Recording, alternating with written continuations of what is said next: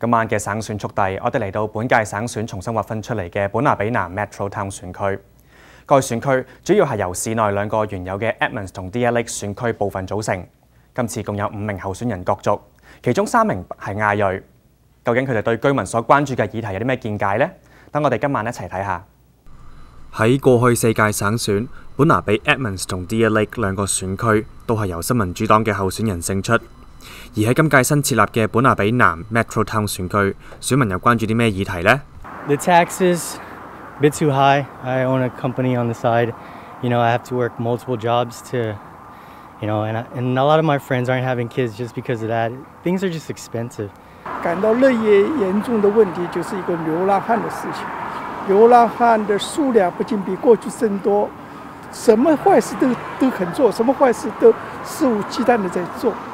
而且政府对这个熟视无睹。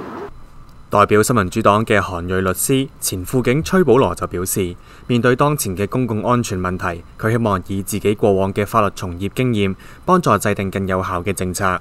It's something that gives me a better understanding of how the law gets actually applied in the courtroom and also on the streets, so that when we are making the law, uh, it's something that I can hopefully uh, add value to ensure that the law that we make actually is uh, addressed and is carried out way the, that is intended for the most positive impact for the people.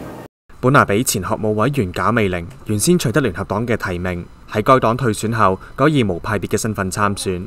佢認為教育廳缺乏前瞻性，而佢一旦當選，會着重校舍基建等方面嘅長遠規劃。為什麼等到蓋好了已經不夠學生使用了？那这个就是一个政策的问题。我们当，呃，现在要做一个建设，我们会预估它三到五年的时候会是什么样的成果，是成长到什么程度？那我们一次就一次性就现在把它预估建到那个时候，它不要三天两头的一直在在在在做跟建。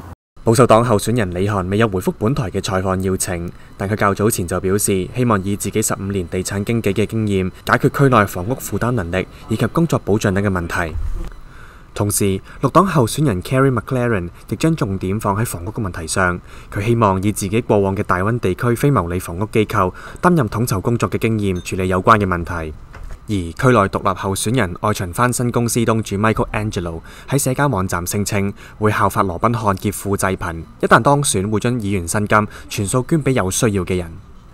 下星期一就係感恩節公眾假期，各個選區嘅票站同埋選舉辦公室都會喺嗰日關閉。